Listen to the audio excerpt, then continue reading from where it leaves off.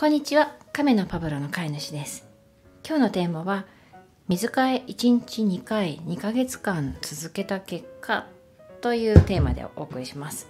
もう2ヶ月ぐらい朝晩2回の水替えを続けてきました。朝は起き抜けにそして夜はご飯の後です。この動画ではその結果起きたことについてまとめてみました。亀飼育特に水亀飼育では水の管理というのはっても大事になってくるわけですが、えーと、大きく2つのやり方に分けられるのかなと思います。その一つは、えー、ろ過をうまく使うというやり方。そしてもう一つは水替えの回数を増やすというやり方です。YouTube や Twitter、インスタなんかを見てると複数の亀を飼ってたりそれからレイアウトに凝ってたりあとは大型で水量も必要な亀を飼ってる場合は、まあ、圧倒的にろ過をうまく活用している方が多くてで小さい個体を1匹だけベアタンクで飼ってる場合は、まあ、水替え頻度増やしてるっていうような感じの方が多いのかなという印象です。まあ、大きい亀大きい水槽ならもうろ過一択になると思いますしろ過を使うことで自由度が増すので、まあ、いろんな意味で映えますしね発信する方は圧倒的にこのろ過をうまく使ってる方が多いという印象です。まあ、そんな中での相手の校舎水替え頻度を増やすという原始的な方法を使っているのがこのチャンネルです。まあ、できるだけ簡単な設備で亀飼育を楽しむという発信もあっていいかなと思いまして地味ですけどね。まあ、こんな感じでこのチャンネルでは10年飼っているミシシッピニオイガメのパブロの日常を通して亀飼育ど素人の飼い主が試行錯誤している様子を配信しています。シンプルだけど亀にも快適な飼育を目指してます。最近コメント欄にたくさんアドバイスいただけるようになってきたのでコメント欄も含め亀飼育のヒントが詰まったチャンネルになればいいなと思っています。ではまず客観的なデータからということで水質から見てみましょうか。こちらが夜の水替え前です。ご飯食べた後なので餌の食べ残しとあと排泄物も多少溶け込んでると思います。亜硝酸塩を見てみると亜硝酸塩はアンモニアが分解されてできたものですが、まあ、まあまあ高いですね。そしてこちらが朝の水槽の水質です。この時うんちがあったこともあって、まあ、昨日の夜よりはマシだけどやっぱり亜硝酸塩結構検出されてます。ちなみに水替え朝1回しか1日で朝1回しかやってなかった時の朝の水替え前はこんな感じの水質でした。あんまり大差ないんですよね。これから思うに水質の維持には水替えを増やすよりも、まあ、ろ過をうまく使ったりとかあとは水草の合わせ技の方がよほど効果的だなというふうに思います。では1日2回も水替えする意味がないのかというと、まあ、そうではないと私は思います。なぜそう思うかというとパブロの様子が随分変わったんですよ。変化は2つあって1つ目は排便が安定するようになりました。夜の間にというかまあ多分明け方に毎日うんちをしているようです。それもあってまあ朝1回の時よりも朝の水質が悪くなっているような気はします。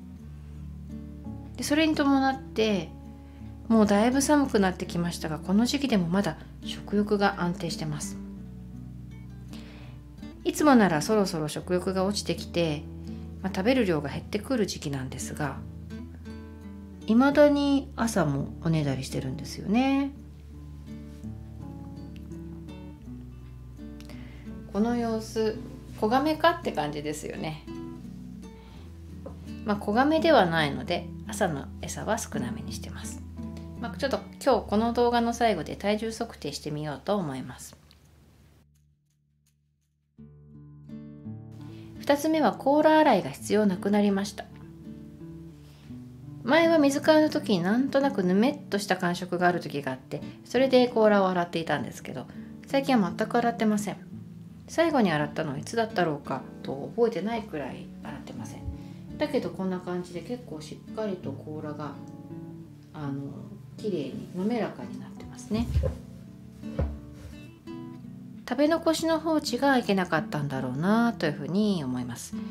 よく参考にさせていただいているセンターテイルのハイドロポンプさんの動画で食べ残しの放置はカビを呼び水カビ病につながるとおっしゃっていてそこではスポイトで食べ残しを取ることをお勧めしていましたが、まあ、私細かいこと苦手なので、まあ、食後にドーンと水を変えてしまうことにしました。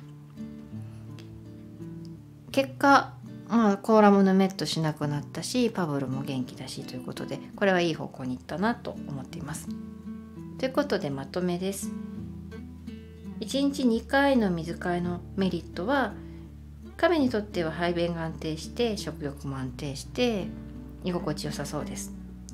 食べ残しを全てきれいにするので病気の予防にもなりますし水替えをするだけなので、まあ、簡単で安く済むというところでしょうかデメリットは水質の維持にはまあ1回やろうが2回やろうが大して変わらないということとあとまあ手間がかかるってことですね。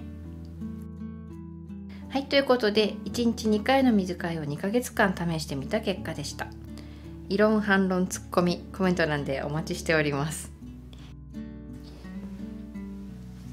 では体重測定いきます。まず普通に測ってみようね。よいしょ。よいしょ。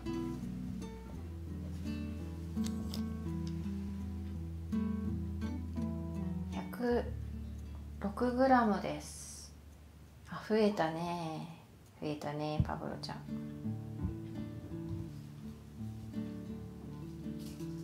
今度は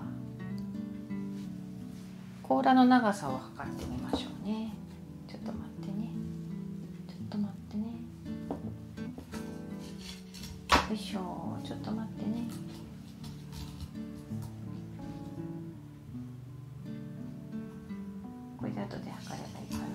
ここですね。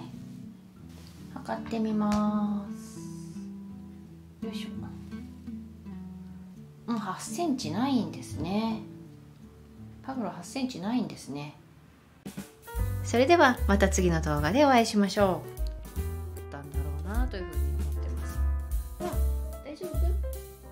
プチュ買ったじゃない今。プチュ買ったよ。